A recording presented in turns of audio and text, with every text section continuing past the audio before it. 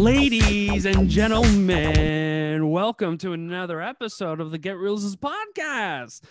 Wow, episode 53, ladies and gentlemen. I am Adam Chase Rennie. And I'm Christine Chen. And today we have a guest, special guest. You've seen her before. It's Kellie Penna. And Kellie is in the art department and also one of the original OGs of Moth to Flame. So that's how we know Kellie and one of the creators of the Get Reelisms book as well. That's right. Now you're supposed to do the blowhorn. Win, win, win, win, win. it's bothering me. Um, Uh-oh. so what's going on, Kellie? She's like, all right. no, is Kellie's frozen? Ah, Kellie is making a cake, everyone. Oh. but it's not for consumption. Well, it needs to be safe for consumption, but it's because you are needing it for an art project for a short film, correct? Well, this was this was practiced for so this cake is edible. Now how it works. Yes. Exciting stuff. Your internet is terrible.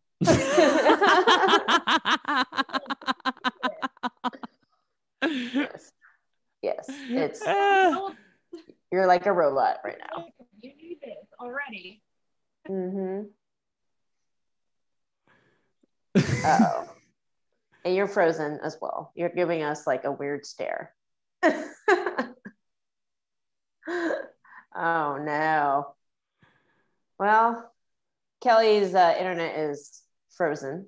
So we'll she could be like the she could be like you know the Andy Kindler to your uh, Conan. She'll just like chime in every once in a while, and that sounds good. we check in with Kellie and and see what her two cents is. oh, I feel like she's gonna have to sign back out and start back in again. Uh, she's frozen, frozen. So, yeah. All right, guys, technology sucks sometimes, but uh, for once, it's not me. right because I'm not in Shreveport. yeah, we're I'm yeah, my internet is not the best either, but I am I am like hardwired to an ethernet because I have no other choice mm-hmm. to precisely record the best possible signal you guys. Yes. Um well we'll just keep talking. You you we just keep talking. yeah i i mean i do but not in the slightest experience that Kellie has. Like Kellie, not does, in the yes, slightest. True. So well, Kellie she needs to get internet to work. she can better articulate what happens art department, art department stuff. Yes. So hopefully, all right. So for those of you on Instagram, she signed out on Facebook. For those of you on Facebook, she's going to be back. Everyone else, she's going to be back. Uh, hopefully with with better, stronger bandwidth in yeah. internet connection. Usually this is so my problem. But yeah, it's... and it's fine. It's fine. We're we're rolling through the punches and it's not that big of a deal. Um yes. so Christine Erzulie. let's get into Erzulie. How okay. how's the editing going? How's how's how's all that? Uh, editing is good. It's mm-hmm. um it's always it's a constant up and down of frustration. Uh, and I it's you know I it's very you were talking about the music last time yeah it's editing is very similar to writing the process. You right. get to a draft and you're like this is it i'm done. And then you show people and people are like this is terrible. And then you're like great now i got to edit it. And then you edit it and you get to, through the first edit you're like i think this is done. And then you send it to people and people are like no it's not done. And you're like great. Um, and it gets worse as you get closer to. So so because each time you're even more convinced it's done yet you're still getting no it's not yet. And so and you're like i don't know what else to fix you know? So that's where i'm at right now. It's i'm this last iteration thought we were picture lock and then i sent it over. Hey christine let's try not to play with this a little bit oh, because sorry. it's interfering for some reason with the mic. Okay. Yeah it's okay. Yeah um, so I here, let me just take this out. You, yeah, no, you're good. So I um, we sent it over to the the our distributors, and Mhm. there then they gave us notes, and I'm like, ah, crap. No, we're not. It's annoying because when you're editing, there's a point where you have to get a picture lock because everything else, every other position is in a different program. So the colorist works in Resolve, the sound mixer works in Pro Tools, and the reason for picture lock is that these they don't integrate seamless seamlessly with each other. If that makes any sense. It does So make if- sense. It does. Yeah. So so on Premiere, if I decide to edit after picture lock, it fucks up all their timelines. Yeah, completely. You see what I'm saying? Yeah. And so it's really frustrating because I But feel like you actually can't afford that just time wise, probably. yeah, time wise, yeah. So it's really frustrating because I am here being like, okay, pretty sure we're almost there, and then now I'm getting notes, and I can't stop the process for art, for color or sound right now because of how tight our timeline is. So we're having to strategically work around it. So well, how I, I'm dealing with it, poor Jeff, is that he so the um, film itself is so big that you have to cut it up into pieces to deliver it to the other um, parties. So right now, in order for the uh, what we call the OMF files to go over to the sound person, I have to cut it up into 10 minute reels to deliver it over. Um, because through Premiere, you can only export af- uh, a maximum of two gigabytes after two gigabytes, it won't include all the files and it does something funky. So you have to you have to cut it up into tiny little pieces. And so Hmm. I'm basically telling Jeff work backwards. Like I know that the front's gonna change, but not the back. So like start working backwards, and I'll tell you like when when I start editing the first part, I'll know when the first reel ends, and he can just move everything to that exact timeline. Hopefully, it all just seamlessly links together. That's Yeah. my, in theory, that's what I'm hoping it will work. But like, sound people hate this, obviously, because like the likelihood of screwing up what they're doing right now is huge, you know? So I just, I have to be very good with knowing, like, all right, I'm only, I'm editing here, and this is where this reel one starts here, reel two ends here, reel you know, type thing. So Instead of doing it just in all one lump sum. all one lump sum. Yeah, it just sucks. you can't So, you, you can't be spread that thin. Jesus Yeah. Christ, Christine. so I just, it's really, really frustrating. Um, but right But now, it seems I'm- like it's the most productive thing to do is to just like keep it piece by piece. Um by the way, Kellie is on the uh on Instagram, live. Instagram. Okay. So Kellie, request to join with uh Christine if you can. I think you can, right? she should be able to, but the, isn't she? She's not on. The problem is she can't hear you because she's not on Zoom. Well, I mean, Oh, but she oh, can. no, hear she can through hear me through Instagram. Instagram, right? Wait, can can none can no one hear me on Instagram? Can you hear no, me? they can. Instagram? Yeah, Oh, yeah. okay. No, you're Yeah, fine on Instagram. I'm just thinking of, of Facebook. You make me Uh. nervous. I want to make sure I'm projecting. Kellie, you need to Um, request to join this IG uh, story. Story, basically. That's right. yeah, you just need to join the IG. Oh well, we'll figure it out. But yeah, and so we're that's the point where I'm at is like this timeline is stupid. So uh, I I, I already knew that. But it's the most productive. That's the point I was trying to make. Like Sure. it, it's probably for you and for the sake of the crew. it's Yeah. probably like we're, what we're trying to do is make the uh, the timeline for uh, Sundance. So Sundance's uh, regular Right. time timestamp is August. Luckily, it's not August fifth. I thought it was August fifth. August fifth is actually the early submission. Uh, so the so we actually have a little bit more time than we Okay. think. However, we're also remember how I said we built in kind of uh we built in uh forced what are they called deadlines along the way and so to Mm. make us to kind of light a fire in our ass mhm. so the the two deadlines that we have are um, the 23rd is is a little in progress screening in Gainesville for the folks of Gainesville that donated to our uh, film, and then the 26th in Austin. So that's what the colorists and sound people are, are rushing to do right now, which is good because these are like actual projected big screens with like good sound systems and stuff. So it's to it's to give us an opportunity to also hear and see how everything looks on a big screen, you know. So yeah, absolutely. Yeah, but it's also just really stressful because of this whole um cut, still I'm still cutting or figuring out like what to cut from the intro and and whatnot. So it's technically not still not picture locked, but but you're close. I'm close. You're it's close. Really you can taste the yeah. rainbow. Yeah. So, but uh, yeah, no, that that this is I liken this process to writing a lot. Um, where each iteration you just feel like this is it, and then people give you notes, and you're like, mother yeah. effer, like when is this going to end? Like I thought this was done, you know. So it's right. the question of like when do you pull the plug and say it's done? So I don't know what Kellie's doing. I don't know either, but let's just keep going. We're we're gonna see the request at some point, and or Kellie, if you want to just go back to Zoom, if it's better connection that way, and just go audio only, that's that's totally fine.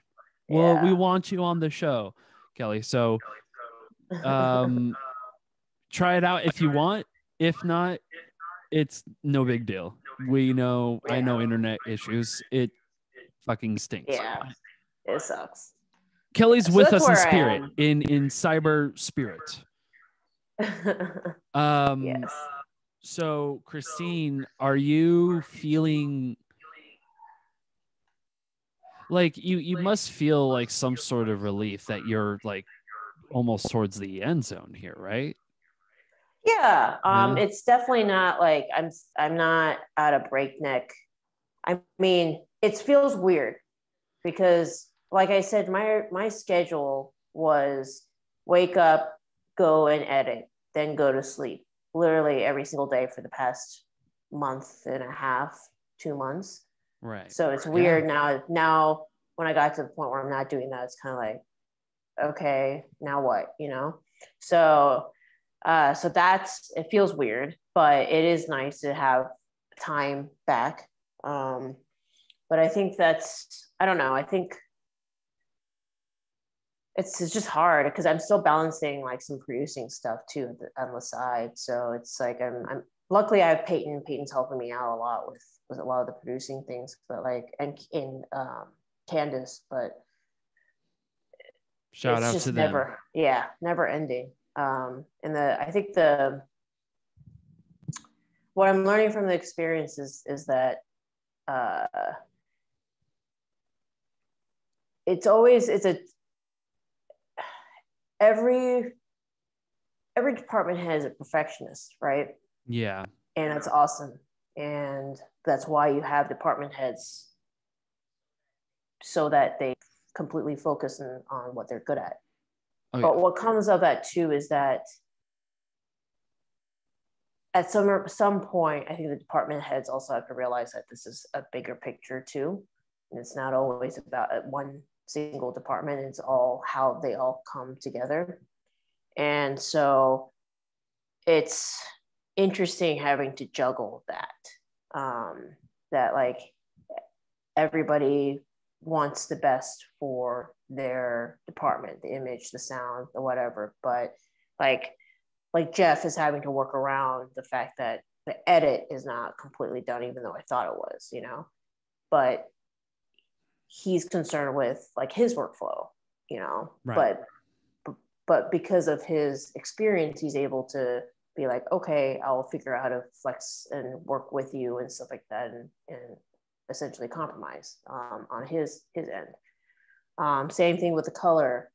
Um, she's dealing with a very tough schedule, and it, we're all working virtually. Luckily, I, I am in town this week for the purpose of being able to talk and work with her in person and uh, go through coloring and stuff like that. But it's it's tiring. I bet. I mean, I mean, just hearing you say all that, yeah, I, I can I can understand why you yeah every, every everything just feels so spread thin not at the you know at the you know uh expense of the people around you they're doing Yeah. an absolute fine job it's just you and th- almost getting to that end zone i hope you Yeah. take a break i mean I'm- i i know you probably can't but Yeah. you should celebrate because it At is some um point, maybe. and you still eh, listen Yeah. 20 episodes ago and also on the shoot you talked about that tattoo maybe maybe it, it, That time when will I'm come. done, yes. Picture time lock. come, When picture when we're actually for reals, everything's done. Then yes, I will.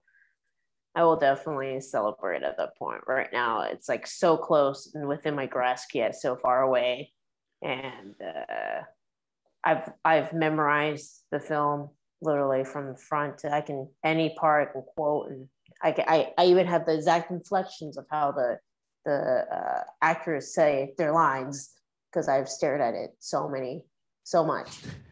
Um, but I don't know. I'm I'm I'm very proud of it. I'm proud of what people have done, but and it, I don't know. It's we won't know how it's going to be until the world starts to see it in the other two sins, and that's the that's the scary part is that or the No, most exciting it, it's both. It's exciting because it's really fun to hear and see how people react, and it's been the test screenings have been great. Um, in general, people have reacted very, very at the right spots, which is really fun. Um, but when you come to like critics or people who this is their whole job and they all they do is watch movies, they don't care what you had to work with. You know, none of that makes a difference to them. You know, oh, you only had 11 days. Don't give a shit. They don't give a shit if you had only this. That's why it's so hard because you're competing with the million dollar budgets, right? That's they they just care what's on the screen, literally. right So, yeah which which is unfortunate but also uh, at the same time i don't know i feel like the audience is smart in that way. I mean it's an old philosophy thing but uh, joseph campbell said never underestimate the audience. And you, i mean because audience oftentimes are smarter than you think. So they probably do see the quality and the love and the passion behind the storytelling of Erzulie. I mean, it shows for me. I'm sure it's going to show for for a lot of people, and that's coming from a dummy, ladies and gentlemen. That's not coming from a guy who is just like, oh, I'm a savant in the in the art of film. I'm not. I'm a I'm a I'm a greasy dummy from Oakland, California. It's you're it's not not the uh Stop it. but but you know what I mean though, right, Christine? Like it's Yeah. it, it's one of those things where you you should definitely be proud of what you've what you've done, and I think that will show within, if that makes Yeah. sense. It's just like Yeah. the love and the passion's all it's all going to be there because everyone around you. I'm so burpy today. Jesus Christ um everyone around you are like you said the per- department heads are perfectionists like we care about the story so much just as maybe not just as much but very fucking close if anything or just as much you know? And you you shine through that you know? And then you you also cast a spotlight on all of it between props to cinematography. It's it's all there. It shows. And I think anybody who knows film and loves cinema and loves film, like Christine and I do, it shows. I it shows, dude. so.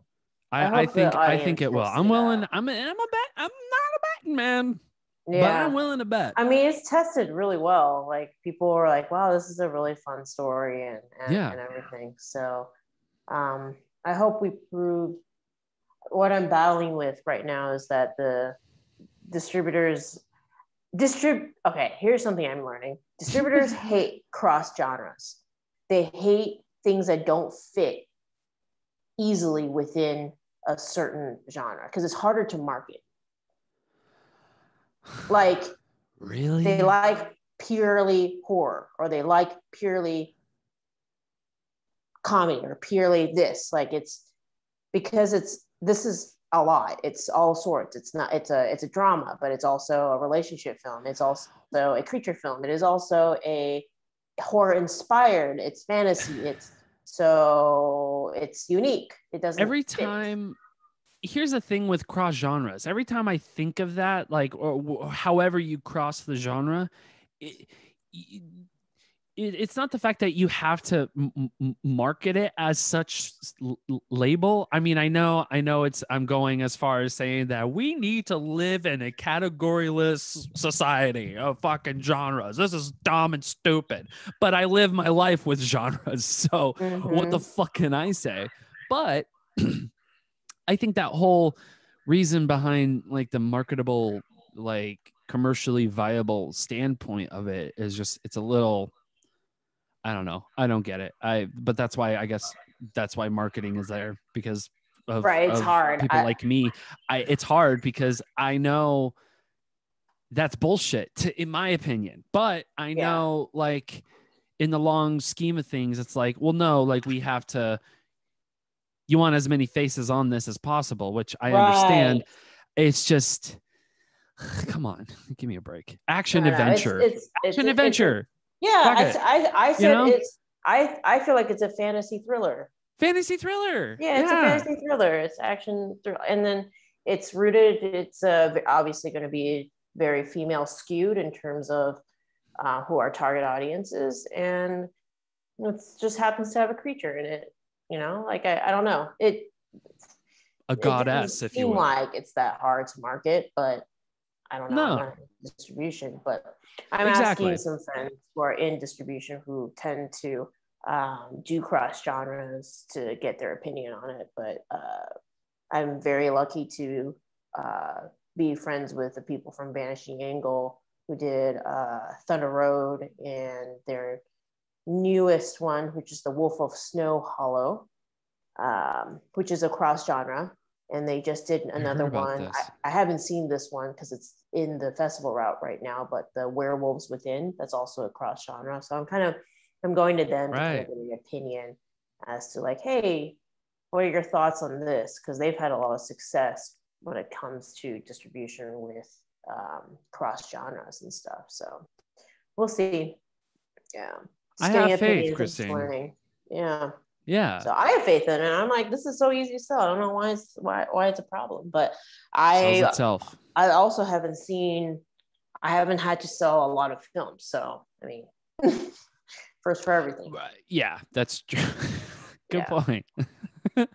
uh, did we get any questions at all? Uh, I didn't. I actually did a terrible job asking for people to give to ask questions. Right. Around, so. Okay. All right. So then I want to ask you this. There was something last episode that I kept thinking about, and uh, I wrote it down too today because I knew I knew I wanted to talk about it at some point. Um, the editing process and the the like sharing that like having your film projected on a big screen for the test audiences yeah. like your perception and your reaction because I didn't think about it either for myself, but I always live my life through small monitors and I sometimes often don't think about big screens and I was kind of having like this moment of like oh right you always eh, filmmakers far way before us like always thought about you know like the scale of what you know the the theater could could have and like how many characters you can have and you know one frame and stuff like that. You know you don't you don't think about this but seeing it for the first time on a big screen when you just seen it through your your 15 yeah. inch MacBook bro yeah. that, it's just like I can't imagine what a trip that must be. It's definitely a different experience because like yeah they say, for example, like a 10 foot Erzulie right in front of you. That's amazing. Yeah, and, it, and people it, are going to experience that. I'm so excited. Um, the way I can liken it to is I watch the behind the scenes of like what it takes to film using IMAX type stuff, and their IMAX, oh, their right. their like frames are like this, like are huge, you know. and they're saying like a tiny speck of dust when blown up on IMAX screen looks like a giant like ass piece of something on the on the frame because it's so big. Jesus. Um, Everything's so kind of like that. Everything is magnified. That's the biggest thing. Um, I and I have a even another big problem. My computer is so old and archaic that like I can't even wow. really feel the pacing of the film sometimes without having to export out the film because it lags every minute when I'm playing. Yeah. So I have That's to true. it's really annoying. So I, I have to oh, export oh, every night so I can the next day watch it through without it like lagging, and then I can be, feel the real pacing of the film. Um, right. So that's been difficult, but yeah, when it's on a big screen, that's when you start noticing like, oh, on the small screen that wasn't a big issue. I couldn't see her face there, and now I can yeah. see it magnified, and that's clearly out of sync. You know, things like that. So it's good to test these things, um, right? Or like when you're listening or hearing it through different speaker systems and stuff, understanding like the sound, where, yeah. yeah. So the sound and how it how it flies and how oh the music's too loud here. I can't hear any of the voices because you know like just I don't know. It's a it's each process has its nuances. That's for sure. So. Um, I bet. But I, I'm I'm lucky to be able to have the opportunity to be able to like see it on a big screen first before you know not not everybody gets to do that um, I, I like I can say I have seen none of my short films on a big screen until they're at a festival, right? Right. So this is the first time I've been like putting in the extra effort to have these. That's why these test screenings have been so valuable because I'm able to like see how an audience reacts to certain things or get audience feedback or just really see how it translates on a big screen and know how to what I need to do to to make it better, you know? Yeah. So and every um, frame fucking counts too. So like you said, like the things you couldn't yeah. see on the small monitor, you're like, what yep. is that? Oh man, no one can fucking see that shit. Then yeah. you see it on the big screen, you're like, oh you're shit. Like, oh, totally can see that. Yeah, exactly. So. Uh, that's uh, but that's that must be I don't know that must be an amazing feeling too because just like as a child like I I dreamed of like that day of just like seeing something that big because my entire childhood i mean don't get me wrong it's great but uh, it's me just like in front of a tv that fucking close you know? So i i just live my life on small little monitors and stuff like that. And then of course going to the movie theaters i've lived in the movie theaters for sure but i never thought of like the frame and scale as it is like in the movie theater as opposed to home video you know, or yeah. you watch it at home, streaming it at home, whatever. Um, you know, the part that I saw the most impact was sound. Like and sound is the most un like it's it's the most easily glazed over thing that you you you think of and then once it happens and the surround sound hits too in the movie oh, theater too. You talked exciting. about that last episode you yeah. were like you didn't know how something was going to work until you tested it in the test screenings and you're like yeah. Oh, that's how movie theater speakers yeah work. i'm like oh, shit. whoa that feels good. Yeah i can feel the vibrations in my seat. Yeah like that's that, fucking rad. That's like that terminator 2 shit. yeah that yes. feeling is cool especially when I, I mean this is how it is like this is the best quality like sound is through this little you know it's through yeah yes. Yeah and that, that's limited and maybe through my laptop speaker. So uh, i mean even doing the sessions in the with my composer in his studio which is much better than mine still you don't feel w- when it's these giant ass speakers that are surround sound booming with the subwoofer and stuff like that it's just like can't compare to that. It's magical. Like when that yeah when that happens, you're like, oh shit, I made a film. I made a film. You know. So fuck, dude, that's awesome. That's so amazing. that part's really really cool. Yeah. Um. Uh, it's uh it's um, it's a learning experience. Uh, I'm learning a lot through this process. I'm very proud of what we made. Trying to take yeah. all cons- all the criticism and notes with the you know grain of salt, but also trying to not be discouraged as well because everybody wants the film to be better, mm. but it mm. a lot. Everybody's giving you notes. right. It gets to a point where like, is any of this good? Yeah. yeah. No, I yeah, that I never I never thought of it that way, but you're right. Yeah, that's yeah. like you you you just don't know until it happens and then the people react and experience it, you know? Yeah. And then and then you're trying to fight the urge of just like, all right, well, we're gonna we're gonna have the the Christine Chen cut next year. Yeah. once we release it. Yeah. So like the Snyder cut, release the Chen cut. Yeah. Release yeah. the Chen cut. Yeah. Um yeah. I mean, you know, I think um I think you're right. I, I think yeah, it is something to be proud of, but uh from the moment that you had this idea just kind of like on paper and then having it become the way it is. And of course it changed throughout that process but right. Ladies and gentlemen you you saw it right before your eyes you know? I mean we we we experienced an entire year of christine and i mean of course we didn't talk about erzulie uh, at, at nauseum like at that time but you had the idea and then once once you got into the swing of the writing and then you got the script down and all that that's when we went into season 3 and in that process that was a magical journey in of that self. It's a long-winded way for me to say uh thank you for the journey christine. And uh it's a journey. It's still a journey and it's going to be a journey all the way to when this thing gets released. Because i'm sure there's a whole other like after this it doesn't stop. I gotta cut a trailer. I gotta make sure that there the artwork for the poster looks good and so that people will want to buy it you know? It's Absolutely. like a whole whole thing. Um, yeah but i was uh yeah that's why with with kellie i was i was excited to have her on but i i hope she's watching this right now on facebook or instagram. Um we miss you kellie.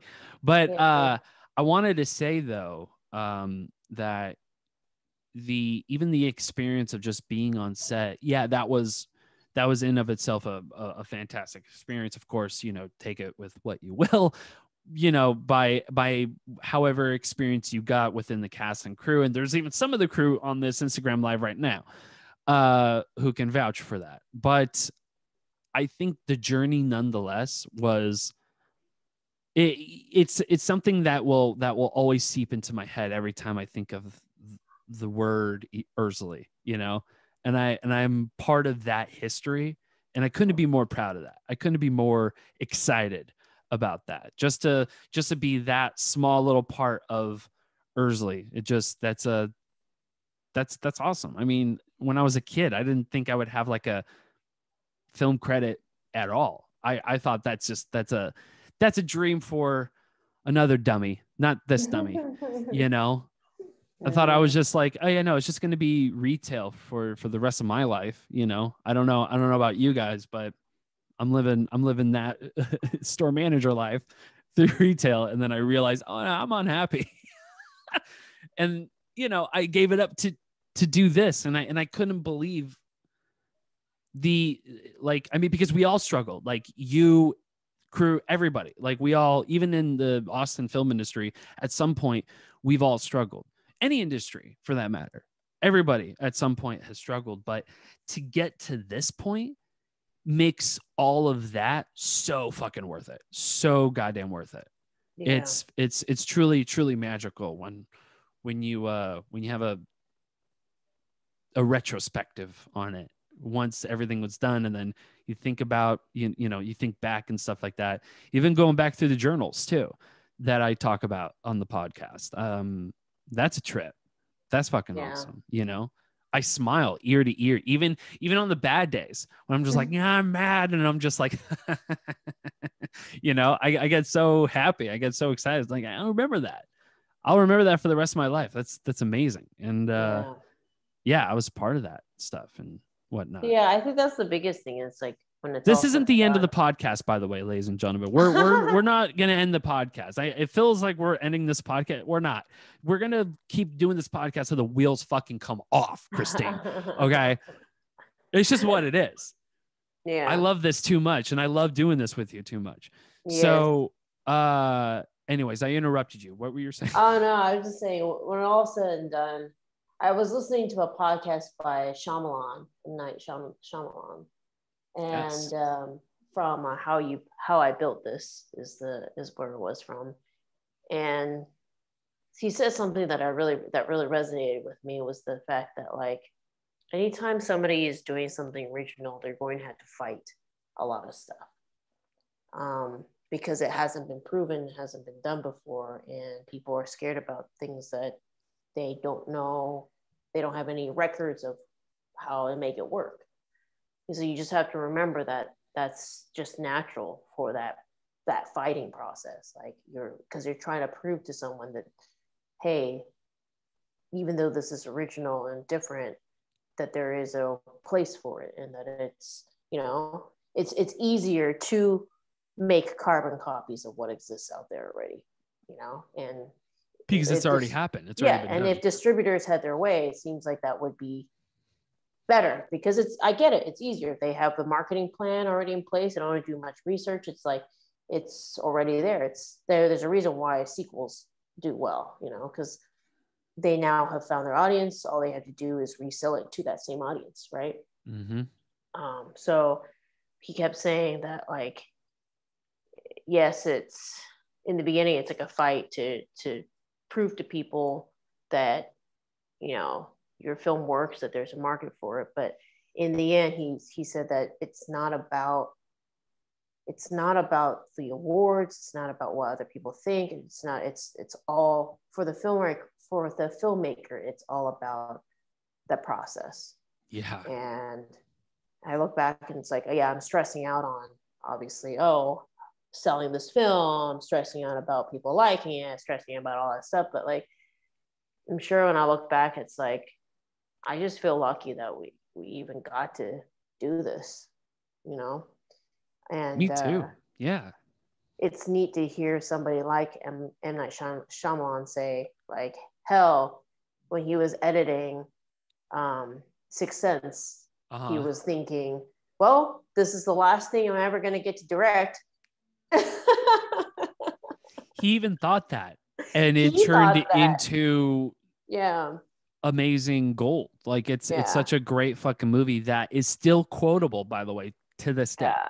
So funny. And that's how I feel right now. I'm editing Yeah. this and being like, well, guess this is it for me. My career is over.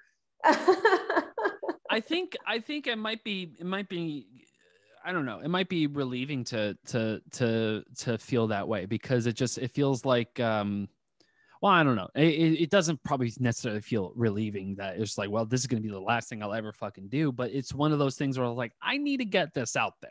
Yeah. I want to get this out there and I need to get this out there. The story means that much to me that I'm willing to, I mean, in your words, not mine, ruin my credibility to, to do this, you know? Yeah. And it's it's not the case at all. I don't see that one fucking bit. If anything, this is gonna Blow up. I think it's this shit is up. gonna be I like it a lot. wild.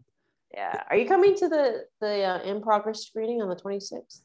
I'm gonna I'm gonna tr- I'm gonna try because I'm also uh also ladies and gentlemen I am broke as a joke so I've been trying to make money on the side so I've been doing lots of like writing like copywriting side gigs here and there um and I think I have something that time I'm not sure but I, I'll Okay. I'll I'll message you I'll message Okay. you very close to it Cool. It's at Um, night, so oh really oh right Yeah. on awesome yeah. Hopefully, um yeah i think i think i don't i want to come and I, Sure. that's going to be a, a no it's going to be a no brainer yeah. christine um i'm going to do my absolute best to get there and i also was thinking about the um i was watching the old fun employment podcasts as well Yeah. and jesus christ i mean we've come a long way in terms of podcasting Yeah. we came a long way. Now this feels so now it feels like I don't know. It's just like it feels so natural to me to do this podcast with you, and I love it so much. It's something that I that I expect doing all the time. And back then, I was so uncomfortable. We were both uncomfortable with just Well, like we didn't know what we were doing. It's pretty. We had funny, no like, fucking clue. I mean, it is funny. clue.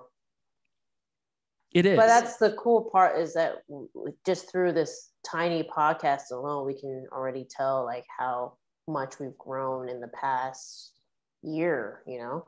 yeah already. we've we've grown so much in this in this podcast and it's so wild to to see that and how natural it is even even our worst episode was still relatively not bad I listen to to, our say old it. podcasts. I find them fun and I, entertaining. I think I think that well no it's just like the the episodes I think in my head because it's not that you no it's me I'm the problem oh, uh, whatever. there's episodes where I'm like, what are you doing? Are you out of your mind, Adam? Are you fucking crazy, dude?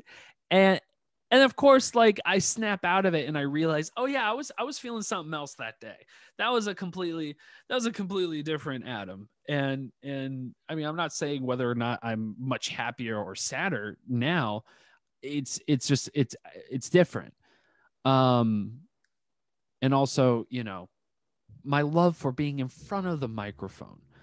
Um, anyways, Christine, I don't know if uh, we've we're almost approaching the hour, so uh, we could we could We talk a little. We can we can talk a little more. We can we can wrap shit up and take this in for a landing. Um, yeah, I mean, yeah. Well, thank you. I, I guess originally we wanted to talk about art, but since we'll we'll just have to. I know, and I and I just don't feel I don't feel right talking about art without the genius, without the art genius Kellie Penna. who taught me. Yes. We will Um, we'll say that for another day. Yes. We're gonna save it for another day. Uh, We're you know what we're gonna. I mean, hopefully, you're gonna be here in Austin, right? We're gonna talk about this. But we we want to. Hopefully, Yes, we can do this all face to face. I'm leaving on the 29th for LA. Yeah. Snap, snap, snap. Okay, cool. Yes. Well, yes. before then, we're gonna try to do this face to face, ladies and gentlemen. We're gonna do. I'm gonna do my absolute best to do this face to face. All right, Christine. I think. Uh, I think that's it. Unless you got something, something. No, we can take it down for a landing. Take take this bad boy down, ladies and gentlemen. Get your books, get your stickers, get your shirts, get everything at getreelisms.com. Also, erzuliefilm.com for your podcast goodness. Where we talk about everything about Erzulie. So if this is your first time on the podcast, welcome. Thank you. We love you. Subscribe, but also join and listen in on on the story of Erzulie. It is a fantastic story and uh, it's it's gonna be it's gonna be worth your guys' ears and listening to because this is hardcore behind the scenes filmmaking magic that you're not gonna get anywhere else, ladies and gentlemen. Okay, Pretty much. This is really behind the scenes. Be This is as behind the scenes as behind the scenes as you can as get. You can get. It's all the trials and tribulations of what it takes to make a film for little to no money, and it's it's hard, but it's rewarding. it's really hard. it's really hard, guys. That's the Yeah, that's the universal motto uh, for this podcast. It's really hard. it's really hard. Um life is hard even. No, I uh all right, you guys, ladies and gentlemen, that has been the Get Reelisms podcast. GetReelisms.com. Thank you, Christine. Thank you, Instagram. Thank you, Facebook. We are going Yes, yes. to see you next week. Next Hopefully. week, hopefully, Hopefully. hopefully Kellie will work. And ho- hopefully Kellie would work. All right, ladies and gentlemen, goodbye.